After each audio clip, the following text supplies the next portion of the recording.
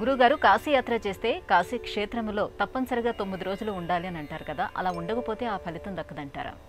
అహో విశ్వేశ్వరే క్షేత్రే మరణాదపి నో భయం. సర్వే ఎత్ర ప్రతీక్షంతే మృత్యుం ప్రియ అతిథిం ఇవ అంటుంది కాశీఖండ్. మిగతా క్షేత్రాలకు కాశీకి తేడా ఏమిటి అంటే ఇతర క్షేత్రాల్లో ఉంటే అది విలాసం. కాశీలో ఉంటే అది కైలాసం. ఎందుకంటే మనము మన ఇంట్లో ఉన్న ఇతర క్షేత్రాలకు వెళ్ళిన ఆనందంగా బతకాలని కోరుకుంటాం. కానీ కాశ్యాంతు మరణాన్ముక్తి కాశీకి వెళ్ళి ఆ మృత్యుదేవతను ఆహ్వానిస్తూ అక్కడ ఎవరైతే దేహాన్ని త్యజిస్తారో వారి చెవిలో సాక్షాత్తు ఆ విశ్వేశ్వరుడే వచ్చి పంచారాక్షరి మంత్రాన్ని చెబుతాడు.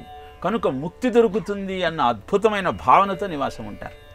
దానికి ప్రత్యక్ష సాక్ష్యం ఏమిటి అంటే ఇప్పటికీ కూడా కాశీలో ఎవరైనా మరణిస్తే వారి కుడి చెవి పైకి లేచి ఉంటుంది. రామకృష్ణ పరమహంస తాను మణికర్ణిక ఘాట్లో శివుడు ప్రాణాన్ని వదులుతున్న జీవుడి చెవిలో పంచాక్షరి చెప్పటాన్ని ప్రత్యక్షంగా చూశానని చెప్పాడు. ఇంత వివరణ ఎందుకు ఇస్తున్నానంటే కాశీలో ఎన్ని రోజులు ఉండాలి? అంటే దివార్థం తదర్థం వా ముహూర్తం క్షణమేవవా అన్నారు. అంటే రోజులో ఒక సగభాగం ఉండు.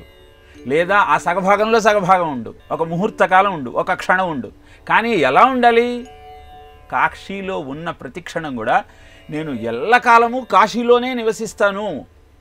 ఇదే నాకు నివాసము అన్న భావనతో అక్కడ ఉండాలట. అలా నువ్వు ఉండగలిగితే క్ష- క్షణమైనా నీకు ముక్తినిస్తుందయా తొమ్మిది రోజులు ఎందుకు ఉండాలి అంటే తల్లి గర్భంలో నువ్వు తొమ్మిది నెలలు నివాసం ఉండి అనంతరం భూమండలంపై అవతరిస్తావు. మాతృగర్భంలో ఉన్న ఆ తొమ్మిది నెలలు నరకప్రాయం మొత్తం చీకటి మలమూత్రాల మధ్య కన్ను పొడుచుకున్నా కనపడని చీకటిలో అవయవాలన్నీ ఇంకా ఏర్పడిన నేపథ్యంలో ఆ మలమూత్రాదుల నుంచి వస్తున్న కీటకాలన్నీ కుడుతూ ఉంటే దానిని ఉపశమింప చెయ్యలేని అసమర్థతతో దుఃఖిస్తూ ఉన్న నీకు ఆ తొమ్మిది నెలల గర్భ ఆవాసం తప్పి మళ్ళీ భూమండలం మీద పుట్టకుండా ఉండాలని నువ్వు భావిస్తే ఆ తొమ్మిది నెలలకు తొమ్మిది రోజులను ప్రతీక చేసి తొమ్మిది రోజులు కేవలము ఆ పంచక్రోశముల మధ్యనే నువ్వు నివాసం ఉంటూ అక్కడ ఉన్న అన్ని లింగములను దర్శిస్తూ గంగా స్నానం చేస్తూ మణికర్ణిక ఘాటులో మధ్యాహ్న సమయంలో స్నానం చేస్తూ విశ్వేశ్వర దర్శనం చేస్తూ విశాలాక్షి యొక్క కృపా కటాక్షాలను పొందుతూ అన్నపూర్ణాదేవిని అర్చిస్తూ సాయంత్రం పూట తప్పకుండా శివ కథలను వింటూ